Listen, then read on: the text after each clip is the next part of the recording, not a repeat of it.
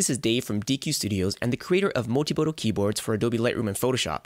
In this video, we're going to take a look at Motibodo for Lightroom. Exactly what is it and who's it for? As photographers, we've decided a long time ago to retouch every single image in-house. We are the Asian sweatshop. Yay, us. well, the problem is it takes a lot of time, and we find that we're spending more time behind the computer than in front of the camera. Motibodo was created out of the frustration of using a mouse with Lightroom's tiny little sliders. So why is that such a bad thing? What if somebody took away your computer and your keyboard and told you you have to write all your emails with a pen? That's exactly what we feel like when we have to use the sliders in Lightroom. Sliders are great when you first get to know Lightroom, and it's fun for about the first 15 to 20 images. And then it very quickly devolves into what we call editing hell. Whether you're using a mouse, a trackpad, or a tablet, the problem with the sliders is every single basic adjustment requires a tedious little movement of a slider. And after you're done that one change, you have to go look at your image again and then decide what else needs to change and then move your mouse to a next slider and then change that one. And then you're playing this visual ping pong back and forth. And by the time you're done 20 images, you've got hand cramps. Motibodo changes all of that, and it's literally touch typing comes to Lightroom. There's two parts to Motibodo that allows it to do its magic. One is going to be the software, and that's really the brains and the heart of the operation. That literally puts all of the controls of Lightroom at your fingertips.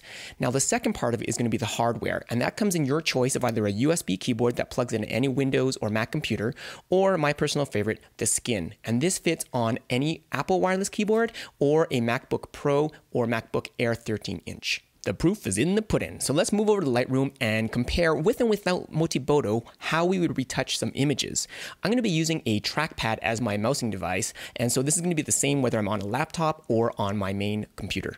With every image, you've got to decide what you want before you start applying a change. So with this one, using Lightroom sliders, if I want to decrease the exposure, I just grab the exposure slider and I drag it to the left here, and then I let go.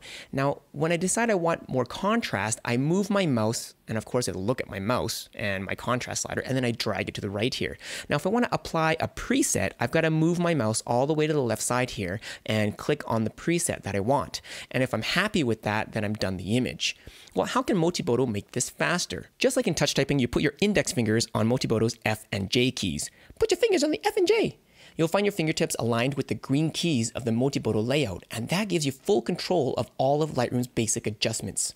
Now, instead of having to move the little tiny sliders, I can literally just type minus exposure or plus exposure, or minus or plus whites, contrast, highlights, temperature, tint, clarity, vibrant, shadow, blacks, or saturation. You get the picture. But wait, there's more. What if the exposure was way off on an image? Let's say, for example, this was overexposed. Well, instead of having to type the minus exposure key like 20 times, we can very quickly press and hold the shift modifier. Now, instead of making a capital letter, it's going to let the exposure jump in bigger increments up or down. So now I'm just going to hit it until it gets into the ballpark and I'm going to fine tune it when I let go of the shift key. And the shift modifier works with all of the basic adjustments. So if I wanted to add a bunch of contrast, I just press and hold shift and I can increase the contrast or increase the clarity. Now, if I want to add a preset, instead of moving the mouse all the way over to the left side and clicking on a preset, I can literally just touch the top row keys of the Motibodo keyboard. And it comes with some great presets that we love and personally use, including the outdoor pop.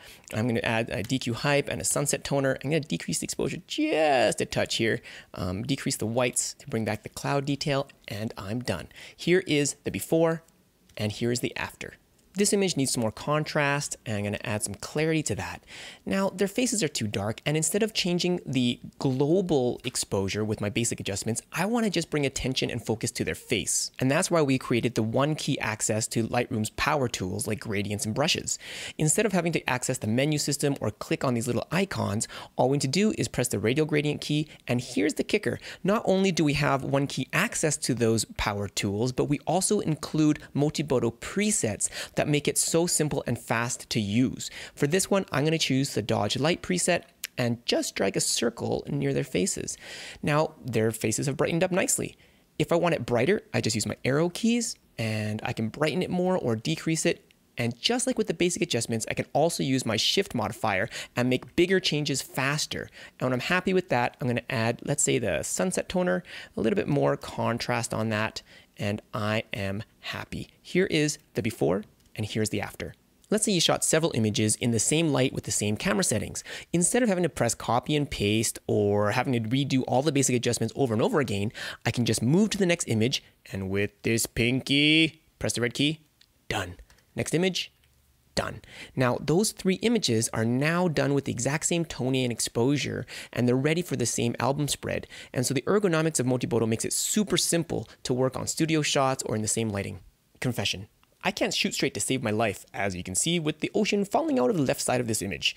That's why I created the crop tool and labeled the bubble level here on the keyboard. You just press and hold this and draw a line on any horizon or vertical line, and voila, I have fixed my crookedness. Now, we love black and white images, but we've never found one preset that works on all kinds of images. So instead of giving you like 50 different presets and making you wade through them all until you find the perfect one, or something even close, we have a different way of working with it. We just have one black and white preset called black and white start. You go, Dave, that's a funny name. Why isn't it called black and white finish? Aha, I'm glad you asked. So press the black and white start and that's a good starting point.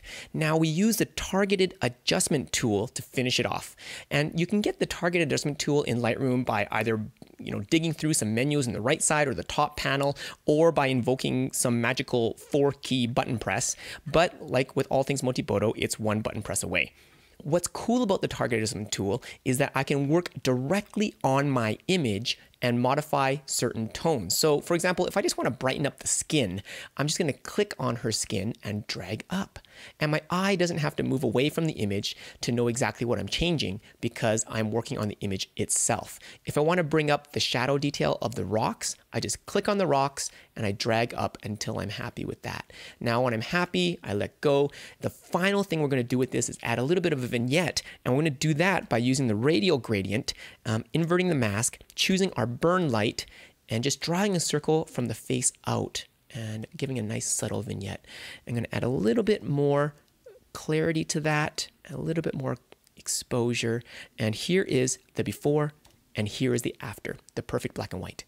This next image is already gorgeous out of camera, but we're just gonna polish it a little bit with Motibodo to make it even stronger. We're gonna darken the sky with the linear gradient instead of the radial gradient. I'm gonna choose the Motibodo Burn Light preset and just drag a straight line down from the top. Now we're gonna focus the viewer's attention on the couple.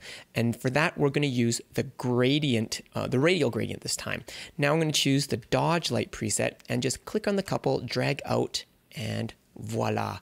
Now I'm going to add some presets, the outdoor pop as well as the sunset toner.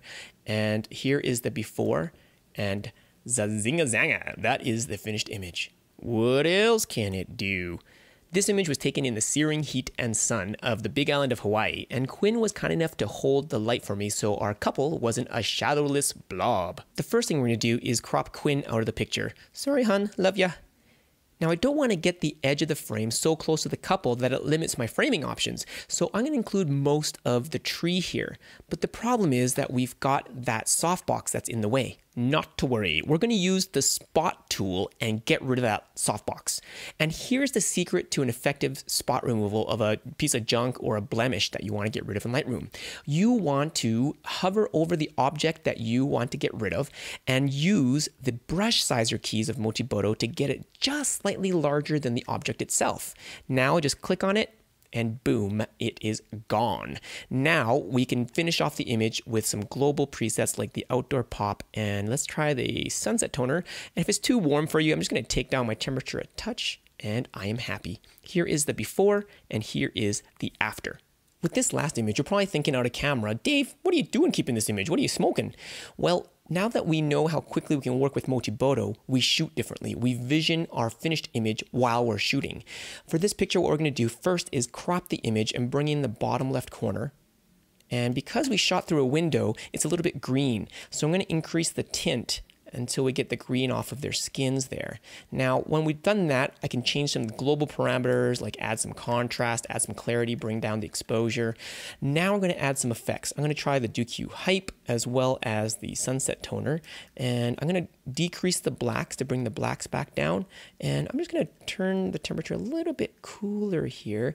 And I really like the feel of this. Increase the contrast a touch, bring up the exposure, increase the clarity, and I am happy with the way that looks right now. So from out of camera where you think, huh, to finished wall art worthy of a five foot print. That is the power of Motibodo. I'm Asian, so humor me as I do some math. If Motibodo saves you just 30 seconds an image, and I think that's pretty conservative, just 30 seconds an image, and let's say you deliver 500 images per wedding, and if you shoot 20 weddings per year, you save a full 10 eight hour days of work with Motibodo. So Motibodo is giving you two entire weeks of your life back. And that is why Motibodo is gold. With that extra two weeks, you could shoot more weddings. Or you could play ball with your kids. Or you could take that vacation that you've always wanted. Or just sleep. There's more details below, and you can pick yours up at motibodo.com. Thanks for watching, happy editing, and God bless.